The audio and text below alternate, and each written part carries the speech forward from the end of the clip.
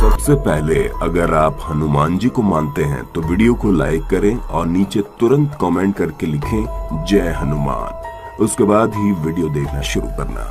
कुछ दिन पहले हमने हनुमान जी के बारे में एक वीडियो अपलोड किया था, जिसे आपने बहुत प्यार दिया। इसलिए हम आपके लिए इसका दूसरा वीडियो भी लेकर आए हैं। आप इसे अंत तक ज़रूर देखिएगा। वाल्मीकि रामायण में राम के बाद अगर किसी का नाम स्मरण किया जाता है तो वो है हनुमान का।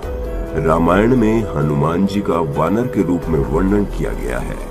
साधारण रूप से हम वानर शब्द का मतलब बंदर ही समझते हैं, लेकिन ऐसा नहीं है। दरअसल वानर एक संस्कृत शब्द है, और ये एक ऐसी प्रजाति को कहा जाता है जो वन में रहते हैं। और ऐसे वानर उस समय दक्षिण भारत, म्यांमार, मलेशिया और इंडोनेशिया में रहते थे। वानर और बंदर में फ़र्क होता है। बंदर को संस्कृत में मार्कती, कपी, मरकट और वन कापी भी कहते हैं। उस समय होमोसेपियन यानी हम अकेले ही बुद्धिमान जीव नहीं थे। कुछ ऐसी भी प्रजातियाँ मौजूद थी जो हमारी तरह ही बुद्धिमान थी। वानर दिखने में बंदर जैसे थे। पर मानव जैसे ही समझदार और मानवों से भी अधिक बलशाली थे, वे बोल भी सकते थे और मानवों की तरह एक साथ भी रहते थे। रामायण में वानरों का जिस तरह से वर्णन किया गया है, वो मानव के वर्णन से बहुत मेल खाता है। खोजकर्ताओं को मिले अवशेषों के आधार के अनुसार वानर यूरोप, अफ्रीका और पश्चिम एशिया में निवास करते थे। रामायण के अनुसार वानर पूरी धरती पर पाए जाते थे, लेकिन उनकी सबसे ज़्यादा संख्या किशकिंदा में थी। जब राम लंका की तरफ़ रावण से लड़ने निकले, तब वानरों के राजा सुग्रीव ने सारे वानरों को एकजुट किया था। किशकिंदा में वर्णन किए गए वानर साम्राज्य के बारे में अगर आप पढ़ेंगे तो पता चलेगा कि वे गुफाओं में रहते थे, और खोजकर्ताओं ने पाया कि वे गुफाओं में ही रहते हैं। अगर हम रामायण को देखें तो रामायण में भी वानरों और मनुष्य के विवाह होने का उल्लेख मिलता है।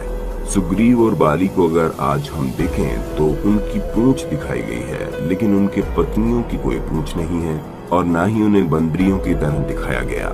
इससे ये साबित होता है कि सुग्रीव और बाली बंदर नहीं थे, वो वानर थे। रामायण में वानरों को कभी भी बंदरों के रूप में प्रस्तुत नहीं किया गया। रामायण में हनुमान जी के बारे में कहा गया कि वे ऋग्वेद, यजुर्वेद और सामवेद के विद्वान थे और संस्कृत और व्याकरण भी अच्छी तरह से जानते थे।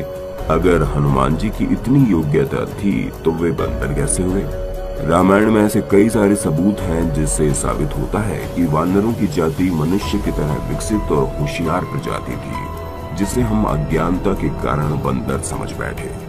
आज का विज्ञान रामायण और महाभारत को काल्पनिक मानता है, क्योंकि रामायण और महाभारत में ऐसे योद्धाओं का, ऐसे वीरों का वर्णन है, जो आज के इंसान से कहीं ज़्यादा ताकतवर और होशियार थे। लेकिन हमारे विज्ञान के थ्योरी के अनुसार इंसान का विकास जिस तरह से हुआ, उसके हिसाब से आज का इंसान ही होशियार और सर्वश्रेष्ठ है।